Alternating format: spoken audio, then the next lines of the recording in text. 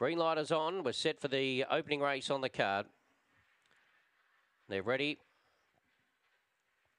Racing, Seagull Rock a fraction slow to begin. Showing pace was Catch a Star. Seagull Rock is recovering on the first corner and railed beautifully. And the heavily backed favourite goes to the lead. Seagull Rock by two or three. Shine a Light up to second. Catch a Star third. Then came Bruce Intention. Three lengths to Blazing Frankie. Well back in the race was Harvey Intention. At the tail was Wild Rover, the big drifter in the betting. Off the back, Seagull Rock the leader by three lengths. Shine a Light who's trying hard. Then came Catch a Star. Seagull Rock's getting a bit tired near the line. Flying was was Shine a Light. Shine a Light's won it. Uh, gets up in the last few bounds. Seagull Rock and Catch a Star in a photo for the minors. Then came Bruce Intention, Blazing Frankie.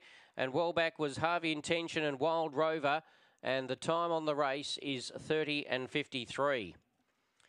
Right down the centre when Seagull Rock started to paddle in the last 30 or 40 metres. Shine a Light with the momentum by Space Star. It was a very talented stayer from Shiny Bright. So shine a light for Rob Britton. Jay Hutchinson is the winner of the first race. Number one, second, Seagull Rock. And the interim numbers are four, one, two, and six. Interim placings, four, one, two, six, three quarters ahead.